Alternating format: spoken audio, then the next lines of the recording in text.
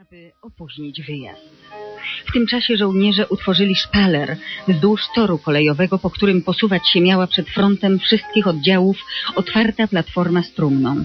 Generalska eskorta czekała, aby rozpocząć holowanie platformy. I nagle zrobiło się parno i duszno.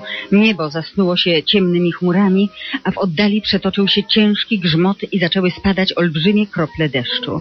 Wiatr zawodził, wył i huczał z taką siłą, że eskorta nie mogła ruszyć platformy z miejsca. A deszcz przemienił się w prawdziwy potop. Strumienie spływały z chmur. Zygzaki błyskawic przecinały niebo, a niezliczone grzmoty przetaczały się z łoskotem wśród tej upiornej scenerii. W owym gejzerze żywiołów ruszono wreszcie platformę strumną i przetoczono ją przed oddziałami wojska. Doczepiono ją następnie do czekającej lokomotywy i pociąg ruszył.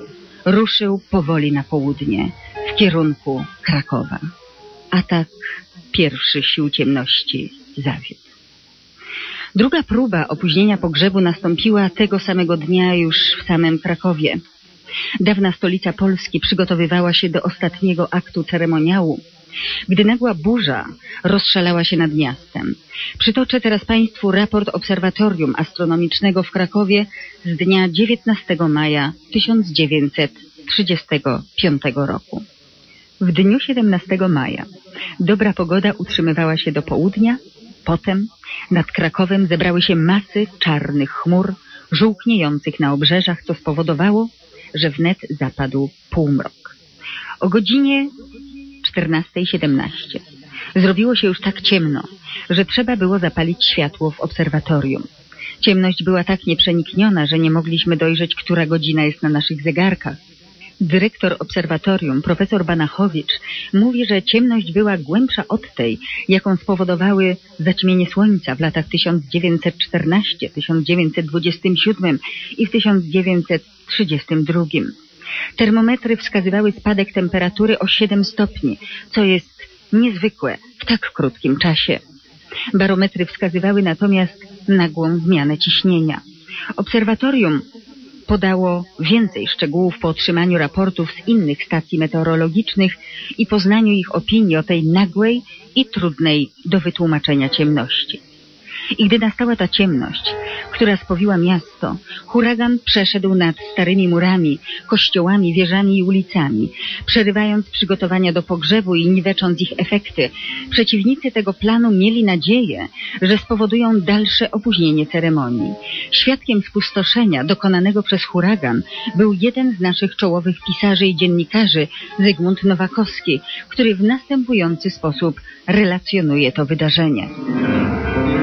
Huragan podążając z Warszawy przemknął na południe, aby dotrzeć do Krakowa przed wieczorem. Pędził dziki i groźny, niszcząc wszystko na swojej drodze. Przeleciał przez ulice miasta, powalił na ziemię wysokie maszty udekorowane srebrnymi orłami, długimi flagami i wstęgami orderu Virtuti Militari. Pozrywał żałobne chorągwie z wież kościelnych pałaców, okien, balkonów i dachów, drąc niektóre na strzępy i zrzucając na ziemię. Niezadowolony jeszcze z dokonanych spustoszeń, zwrócił swoją wściekłość przeciw drzewom w parku miejskim i na ulicach powykręcał je, łamał i wyrywał z korzeniami. Posiadał nadal monstrualną siłę i energię. Tak gwałtowne kataklizmy nie są znane w naszym kraju. Nie wieją u nas huragany i tajfuny. Trzęsienia ziemi, które zdarzyły się dawno temu, nie posiadały katastroficznych rozmiarów. Wszyscy wsłuchiwaliśmy się ze zdumieniem w wycie burzy, która przez wiele godzin szalała nad Krakowem. Zaskoczeni spoglądaliśmy na wyrywane z korzeniami drzewa, poprzewracane maszty flagowe.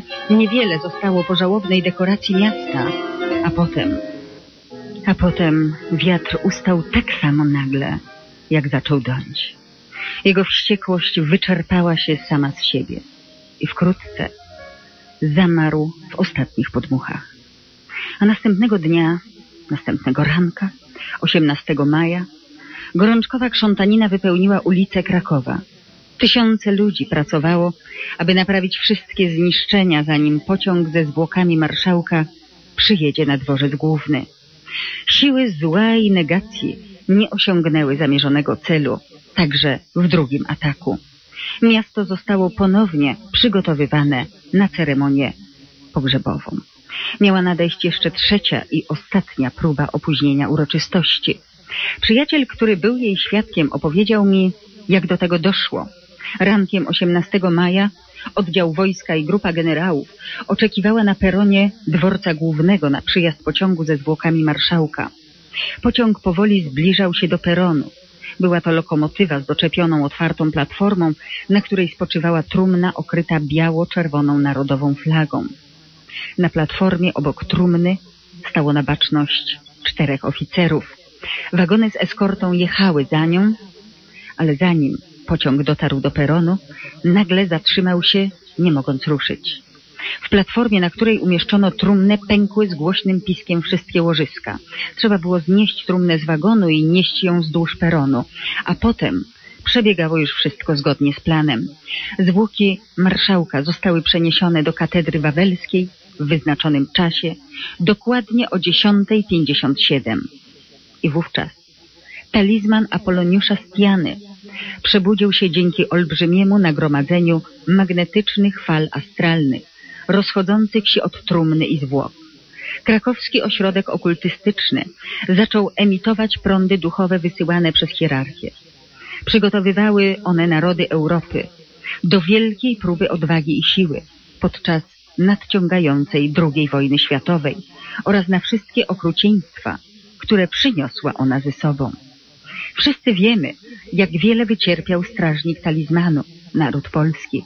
W czasie okupacji hitlerowskiej wypełnionej okrucieństwem i okropnościami trwającymi pięć długich, koszmarnych lat.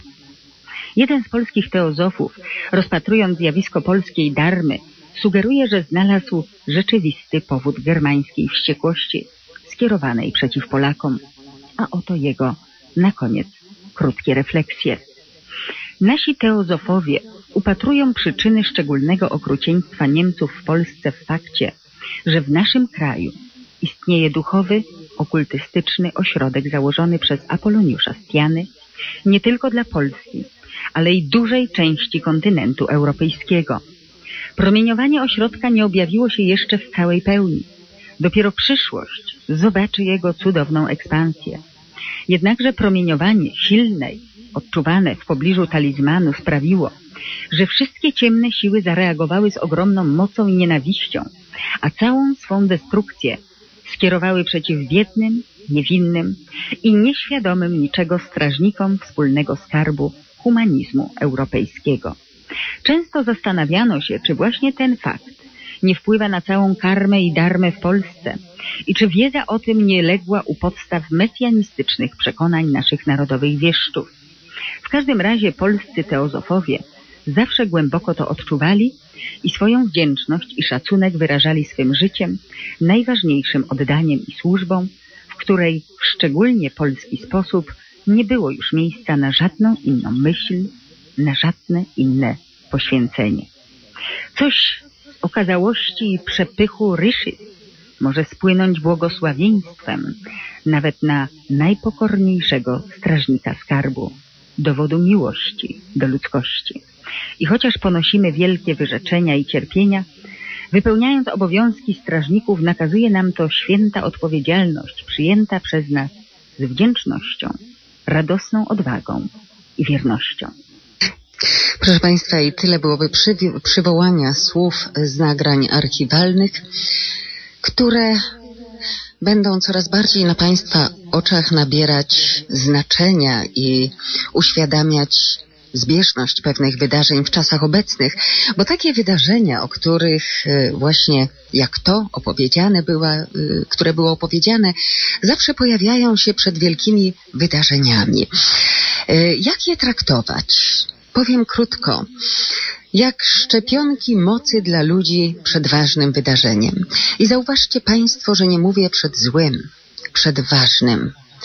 I dobre będzie to wydarzenie dla ludzi, i nie należy się go bać, należy, tak jak było powiedziane, podejść do niego ze zrozumieniem i z gotowością na przyjęcie nowego, nowego i lepszego. Bo mimo iż zawsze najciemniej jest przed świtem i większość ludzi nie widzi jeszcze tej, tego światła, które już gdzieś na horyzoncie zaczyna rozświetlać przyszłość niedaleką, nie tylko w Polsce, ale na całej ziemi. To jednak jest faktem. Bądźcie Państwo dobrej myśli. Bądźcie ufni, bądźcie czujni, bo znacie takie słowa, które wzywały Was do uwrażliwienia na tym poziomie. Dzisiaj dziękuję za uwagę. Do usłyszenia jutro o zwykłej porze. Dobranoc. Barbara Chorosz.